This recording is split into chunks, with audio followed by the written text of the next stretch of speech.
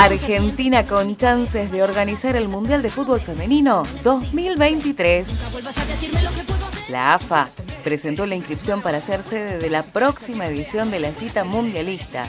El plazo para enviar los documentos de candidatura es el 4 de octubre.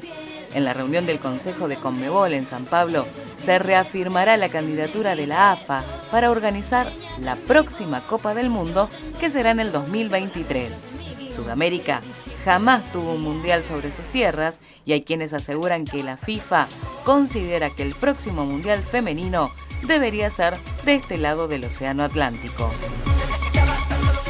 Los otros candidatos para organizarla son Brasil, Colombia, Bolivia, Australia, Japón, Nueva Zelanda, Sudáfrica y Corea del Sur, que planean presentarse de forma conjunta con su par del norte.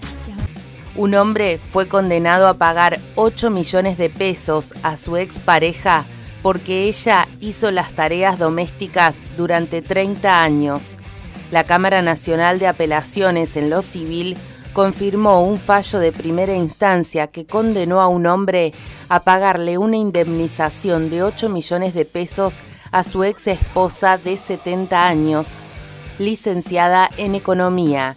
El fallo tuvo en cuenta la perspectiva de género y cuestionó la subordinación de la mujer porque ella durante casi 30 años hizo abandono de su labor profesional para dedicarse de lleno a la atención del hogar compartido. El fallo es considerado novedoso dado que hasta el momento nunca se concedió una suma tan alta como compensación económica para remediar la pérdida sufrida por una mujer que de haber trabajado todos esos años hoy tendría un reaseguro económico del que carece.